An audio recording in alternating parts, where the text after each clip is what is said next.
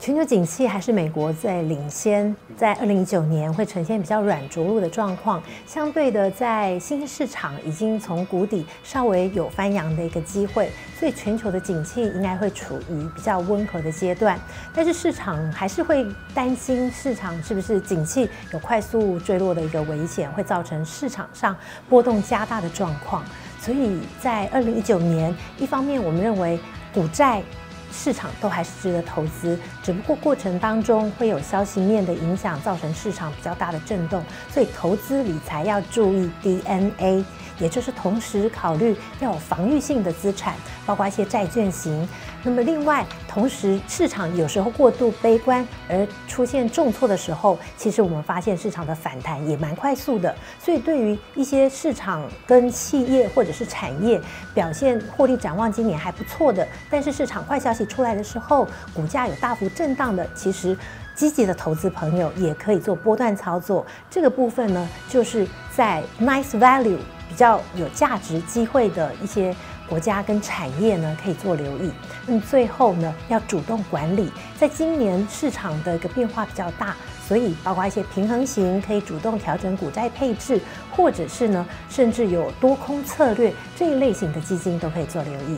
其实很需要注重的，我们也把它组成一个英文字母，叫做 PIX。今年是金猪年，在 P 的部分就要特别留意产品资讯是不是非常的丰富完整。另外就是在产品的选择上面是不是非常的多。那么在资讯的部分就是 information，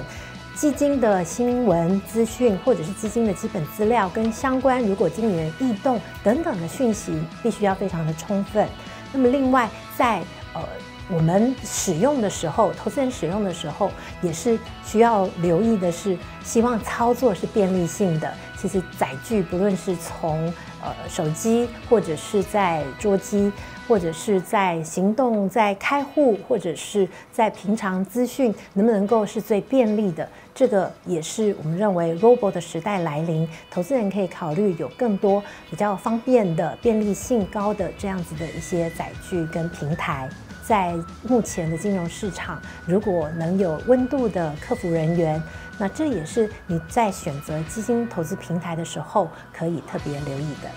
我们会建议要坚守三个策略。第一个，一马当先，你只要能够累积到能够存钱，最主要就是要马上行动，开始做第一笔定期定额，而且要不间断。二是两全其美，目前的确只选一档基金。可能无法兼顾全球市场的变动，所以两全其美就是可以同时投资两档。那现在其实很多门槛都降低了，两千元也可以投资两档，甚至有门槛更低的投资人再用小的金额，其实就可以同时有两档。我们就会建议一档是新兴市场，一档可能是全球股市。所以你只要两千块，其实你已经掌握了全球股市的机会。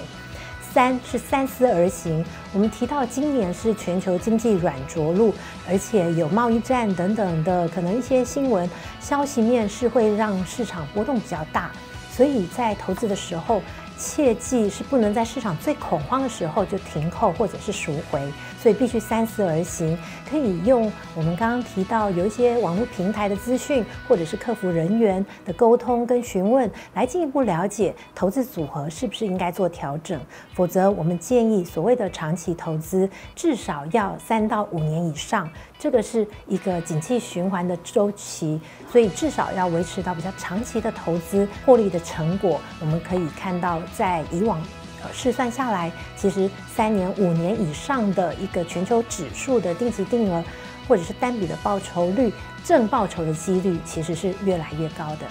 从基金的波动风险就是一个很好的指标，在各类的基金波动风险来看的话，波动风险比较低的就是债券型，或者是以全球政府债或者以政府美国政府债、美国的投资级债为组合的，我们可以称为是精选收益债。所以，投资人在投资组合当中，今年的确一定是要纳入债券型的基金来降低你的波动风险。那么，另外。呃，目前国内也有引进五到六档左右的，在多空策略都可以做的这种呃特殊型的基金，它就是同时也可以做多，也可以做空，所以让呃市场即使是下跌的时候，对于投资组合或许都还有一些获利的机会。用这种方式呢，这种投资策略就会跟股债、跟商品市场的相关性都比较低，可能是在零点三以下。所以就这样子的一个跟各个资产主要的资产的波动性相关性都低的特色之下。就是今年也是我们发现比较恐慌的时候，可能股债汇市表现都不好的时候，那么所谓的另类资产，就是这一类的多空策略型的基金呢，就相对可以做比较防御的部位。定期定额的部分，现在也有一些叫做母子基金，也就是你定期定额股票，那么如果你设定可能十五 percent。或者是呃一个你的目标二十 percent 的目标，它如果到达这样子的获利程度，自动就会帮你转到一个比较稳健的债券型，帮你落袋为安。所以这种同时定期定额股票型，那么达到获利目标之后，又可以帮你转到债券型锁住获利，这样子的策略，在今年也是一种小额投资人呢可以特别留意的。那么另外，在今年遇到震荡大的一个环境，投资人还是要坚守三步的策略。第一个就是不中断。我们提到市场在下跌坏消息的时候，最不应该有说啊，我等跌完了，反正还在跌，我再看看，我等跌完了再扣。事实上，我们回顾历史来看，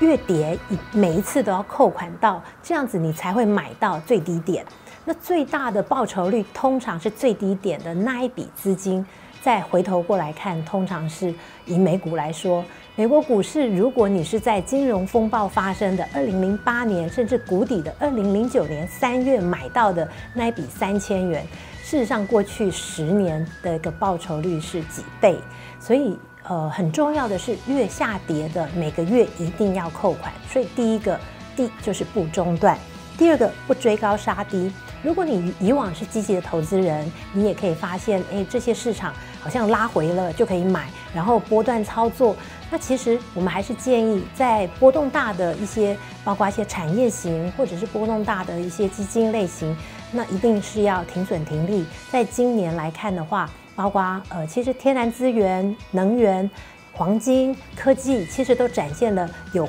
波段操作的机会，只不过它如果是波动比较大的呃这个产业的话，投资人就是要呃可能是以一成到两成以内的资金啊来做波段操作，也要确实坚守这停损停利。